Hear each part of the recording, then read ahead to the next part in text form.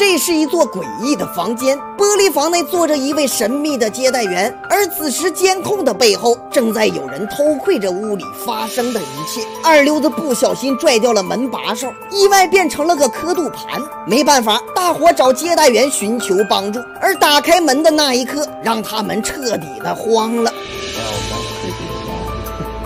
几个人分头找线索逃出房间。老登在书里找到了一把螺丝刀子，而大李微微却注意到了书上的名字，紧忙跑过去将刻度调到了四五幺。哪成想，不但门没开，还触发了屋子里的机关，整个房间瞬间变成了大烤箱，排风扇随即启动，室内的温度也是骤然飙升。王帝娟娟开始情绪失控，这功劲，大李微微发现了墙上的线索，果然按下杯垫，墙。上意外出现了个出口，但必须保证同时按下六个通风口才能彻底打开。黑子打第一个先钻了进去，而此时的屋内还剩下三个人。这时大李微微想起了饮水机，经过测试，果然一杯水的重量刚好能压住机关。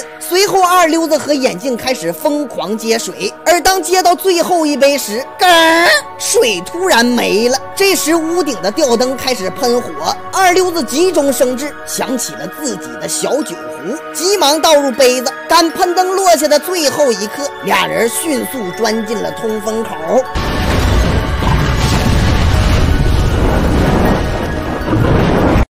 是一场挑战极寒的密室游戏，房间是经过特殊处理的密闭空间，而想要从这里逃出去，他们必须找到门上的钥匙。小眼镜不小心触发了机关，制冷机开始飞速运转，室内温度瞬间降到了零下三十度。老登在狼头的指引下找到了根鱼竿，大李微微在北极熊的嘴里找到了强力磁铁，回去后将磁铁绑到鱼线上，竟然掉出了个大冰块子，而出口的。钥匙就在其中。这时，大伙提议用打火机去烤。眼镜上前捡起来，刚要走，结果，嗝好家伙，成功送走了第一位。随后，受到惊吓的几个人硬是用体温将冰块给雾化了。就在打开逃生门的一刹那，冰面开始炸裂。最后还好有惊无险的都逃了出来。来到第三关，这是一个上下颠倒的台球厅，脚下是天花板，头顶是球桌，出口处没有门把手，球桌上又恰巧少了个黑疤。这时大伙分头行动，结果嘎，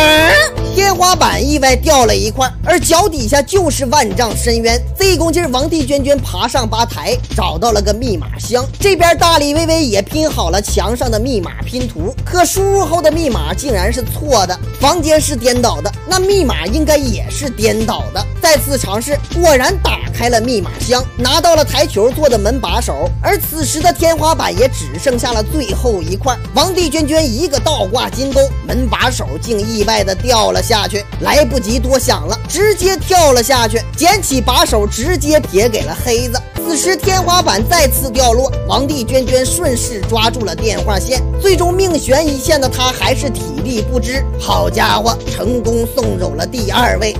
第四关死亡实验室，五分钟内找不到出口，几个人都会被毒气给毒死。老登找来了几张 X 光片，懂手语的二溜子看出了这是心电测量仪的缩写。可大李微微此时却像变了个人，发了疯似的砸起了监控。几个人来不及多想，这边黑子给老登做起了心电测试，心率一百三，测试失败。拿起除震仪给老登直接电到了二百二，可还是失败。而老登呢，也成功的被他。给给折腾走了，物极必反，高频不行，那就一定是低频了。于是黑子尝试静坐降低心率，果然最后成功的打开了通道。与此同时，毒气也放了出来，大李微微中毒倒地，只有二溜子跟黑子俩人成功来到了下一关。哪成想刚进来俩人就中了致幻剂，是眼珠子也大了。手指头也变长了，可解药只有一支，俩人随即大打出手，最后二溜子险胜，独自一一人来到了最后一关。首先映入眼帘的是通往胜利的大门，上手一碰，竟然触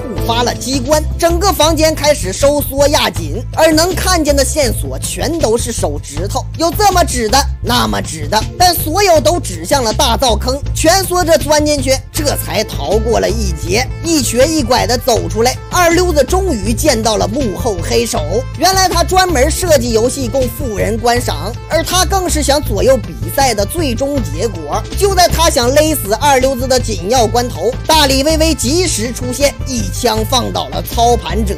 原来大李薇薇砸坏所有监控后，利用氧气罩呼吸，趁清场人员不备，将俩人成功 KO 了，这才有了之前发生的一题目。为此，驾驶特意吟诗一首：密室逃生向穹顶，沿路不是看风景，做人时常要自省，天上不会它掉馅饼。打扰了。